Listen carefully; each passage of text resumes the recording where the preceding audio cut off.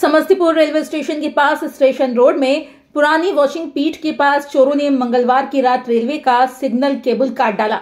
चोरों ने करीब 50 केबल काटा है, जिससे समस्तीपुर, दरभंगा और समस्तीपुर, मुजफ्फरपुर रेलखंड पर ऑटोमेटिक सिग्नल सिस्टम फेल कर गया।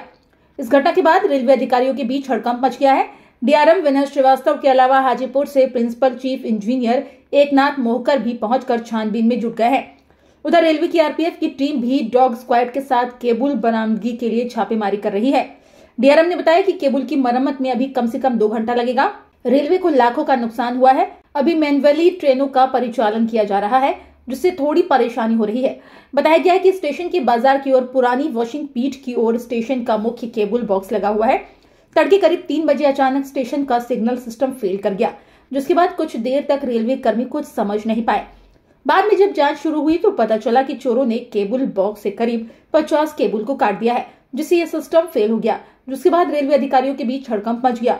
डीआरएम के साथ ही सिग्नल एवं टेलकॉल विभाग के अधिकारी मौके पर पहुंचकर छानबीन में जुट गए।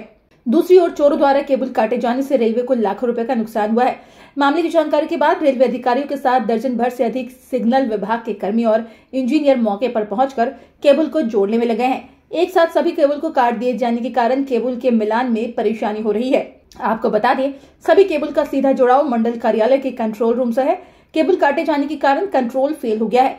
उधर घटना की सूचना के बाद रेलवे की आरपीएफ और सीआईबी की टीम शहर और आसपास के इलाकों में लगातार छापेमारी कर रही है। आरपीएफ ने कुछ केबल बरामद करने में सफलता भी पाई है। आरपीएफ के साथ डॉग स्क्वाड की टीम भी लगी हुई है।